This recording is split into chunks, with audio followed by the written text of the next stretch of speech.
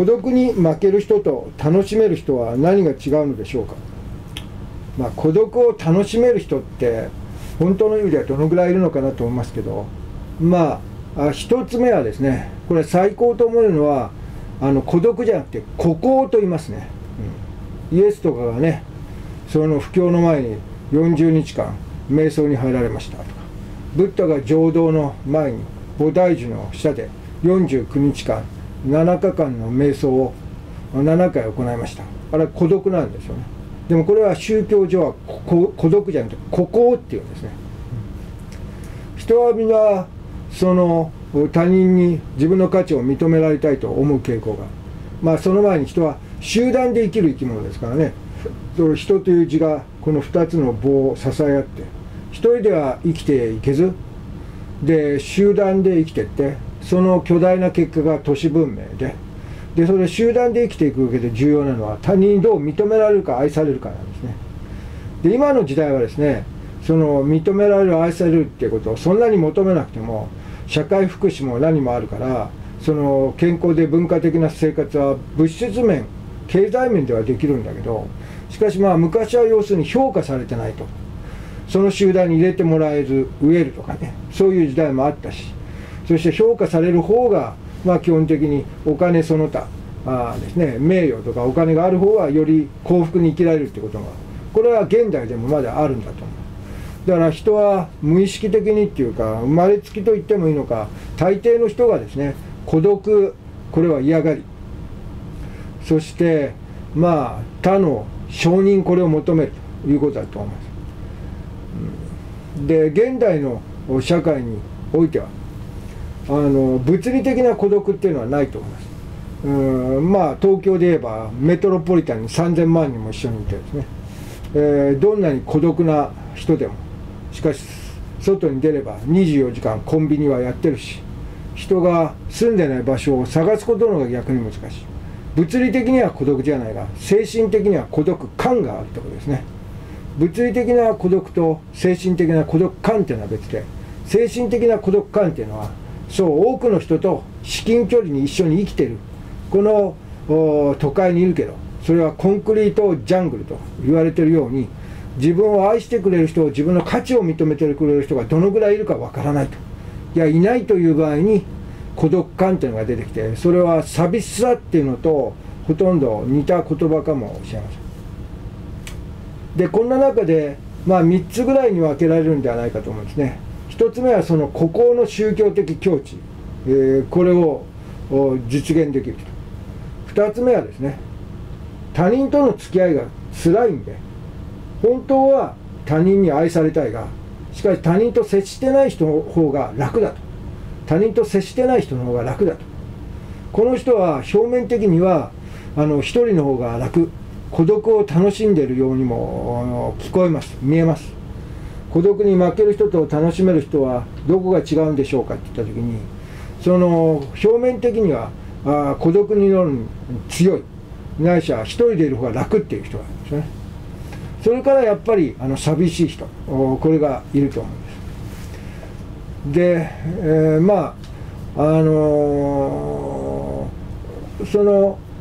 人といるのがストレスで、えー、それと比較すれば人といない時の方が気楽である。そういったパターンの人もあの本質的には人に認められたい愛されたいって気持ちはあるんですね。ただその愛されるためにやんなきゃいけないこと愛されようと思ってやることこれに疲れてしまってねむしろ一人の方が楽じゃないかという課題だと思います。それからそういった欲求があってかつ満たされないんでで一人でいるとやっぱり寂しいと。だから寂しがり屋の人ってまあそれはいると思うんですね。まああのいろいろいると思います。え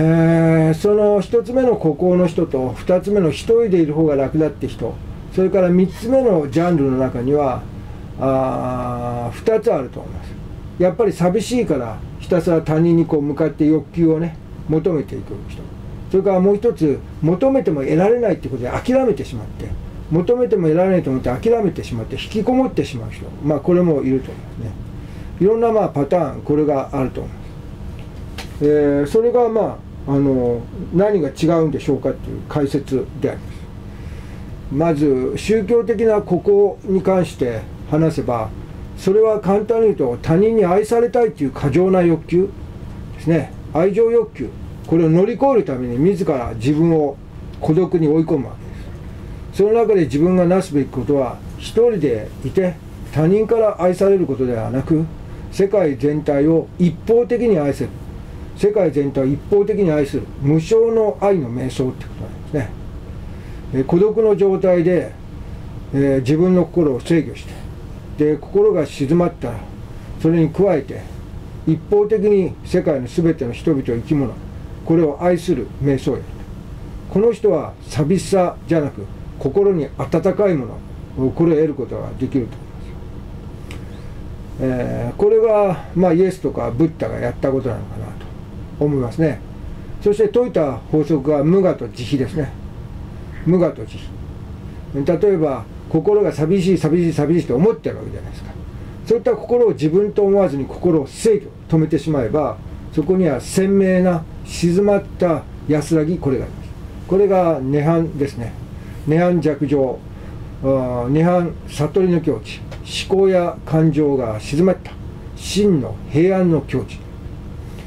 えー、寂しい寂しい寂しいでも寂しい寂しいと思ってる。その煩いがなくなって、えー、静まった神聖な安らぎ平安があるわけ。ですまあ人によってはねいやそれって寂しいんじゃないと思うかもしれない。これはもうそれは実際体験してみるし寂しい寂しいと思う心と戦ってですねそれが静まった神聖な静まった境地。ね。これは仏様の境地ですね、まあ、ですからヒンドゥーの、まあ、修行者なんかは神以外に何もいらずっていう人はいます。そのいろんな人に愛されたいその愛されないということがなくなって神聖な自分の中にいる神との出会いですね。それで平安の中に安らいでいるという状態です。これはまあ最高かなと思います。で心が静まった状態ではですね愛されたいという欲求がありません。よってそれに妨げられることなく一方的に愛するということ。これはできるわけです。そもそも心が静まるということは自分自分という欲求がなくなるんで自分と他人の区別がない。鮮明で静まった広大な自分から解放された意識これになっている。でそうすると地球宇宙全体を包んでその中の人を愛する大きな穏やかな心。これを作ることができると。培うことができるということです。まあ要するに孤島に一人でいて最高の幸福を味わう。これが神を神と出会い神の至福を得ることだということです。そうじゃなくて街中に行って自分と他人が分けられて自分が他人と比べてどのぐらい愛されてるかというふうに患うのはそれは世俗の人の凡夫の苦しみっていう考え方ですね。これがここの瞑想修行者の達成したい、えー、愛情の欲求を遮断し無償の愛を拡大していくプロセスだと思います。でこれがまあ基本的にはある意味では全てなんででこの視点からですね愛されたいんだけどでそういうのに疲れてしまってむしろ一人でいる方がいいとか。愛されたいんだけどどうせ愛されないと考え人前の中で人の前の中で自分のそれがいたたまれず引きこもってしまう人とか。それから愛されたいっていう欲求ままに人にいろんなことを欲求してでまあ人を困らせる人とかまあいろいろといる。最終的にはこの寂しさ孤独感というものはねあの自己愛愛情欲求これを和らげてその無償な愛これを培うことによって解消するということであります。でもですねこの孤独に負ける人と孤独を楽しめる人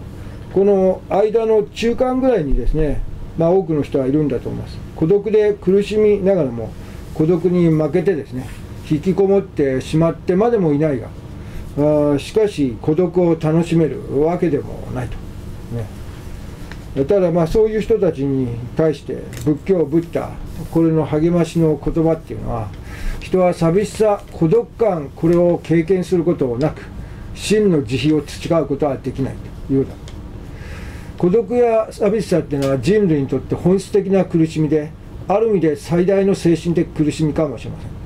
ということはですねどんな人も多かれ少なかれその孤独や寂しさの苦しみは持ってますよね。それに対する恐怖その苦しみですね。ということはそれを経験することで皆さんは他の全ての人が経験する悩むものにものを経験したということです。自分だけは苦しんではなく人の世の苦しみを経験してるということです。でその経験によって他の寂しさ苦しみを理解してそれを乗り越える仏道などに励むことができるのであればその孤独の苦しみこれが仏道の極地無償の愛慈悲、えー、これを得る第一歩これになってくるだろうと。でもって孤独寂しさを経験せずに慈悲これを得ることはないと。苦しみ特に孤独や寂しさこれは仏教で最も尊いとされているその慈悲、えー、これの源だということです。孤独や寂しさといった苦しみは最も尊い心の時慈悲の源で孤独は慈悲の親になると。孤独が慈悲の生みの親になるという考え方なんですね。えまああのその他人に愛される愛されないっていうのはどう自分が評価されるか他人に良い人だ悪い人だどう思われるか優れてるか劣ってるかってことですが優れてるという字は同時に優しさとも読むとその優しさっていうのはそのさまざまな苦しみを自分も経験しそれに基づいて他の苦しみを理解する慈悲の心に等しいと思うこうして優しさないしは慈悲というのはあその苦しみから生まれるものだと思いますがその優しさや慈悲というものこそがその優しさっていう感じそのままに最も優れた最も優れた人の特性なんだと思いますで最も優れた人の特性であるからこそですね、えー、その人はですね他人に優れてると評価されることなくその自分が幸福でいられるということもできるんだろうなということですね、えー、ですからこの孤独や寂しさという苦しみこれを逆に糧としてですねで人として最も尊い優しさや慈悲といったもの他の苦しみを理解し自分の経験からそれを共に乗り越えようとする心の働きこれに向かっていくっていうのが、まあ、一つ仏道修行の究極ではないかと思う。苦しみや慈悲の源というのは大乗仏教の自分は究極の教えだと思っているわけです。苦しみを喜びにする際にですね生じるのが慈悲だし慈悲をもってこそ苦しみが喜びになるわけだし。まあ先ほどね今60であと20ぐらいで死ぬと思えばいろいろ虚しいしっていう話もありました。でもその虚しさでねあの苦しんでる人はあのこのように何十億といるわけですよ。自分だけの苦しみじゃなく人の世の苦しみみんなの苦しみこれを今自分は共に味わってるんだってことね。そういうふうに感じると自分の狭い心自分だけの狭い心の中で苦しんでることがみんなと共に苦しんでるんだなっていう広い心によって少しずつ癒されていく溶けていくということがあります。これが全ての苦しみは自分だけの苦しみだと思い込むことによって強まっていきそうじゃなくて人の世の苦しみを知る尊い経験で皆と共に経験してるんだという広い温かい心によって癒されていくということですね。情けは人のためならず先ほどは人を呪わば穴二つと言いましたが情けは人のためならず。慈悲優しさは孤独を超越する。非常に重要な手で。また他への怒りや憎しみは自分の心身を損なう害悪であって。ということで情けは人のためならず人を呪わば穴二つっていうのは極めて仏教的ないや仏教を超えた人間の心の道理であるとまあ思います、えー、大乗仏教究極の教え苦しみは慈悲の源。慈悲によって苦しみが喜びに変わっていくということですね。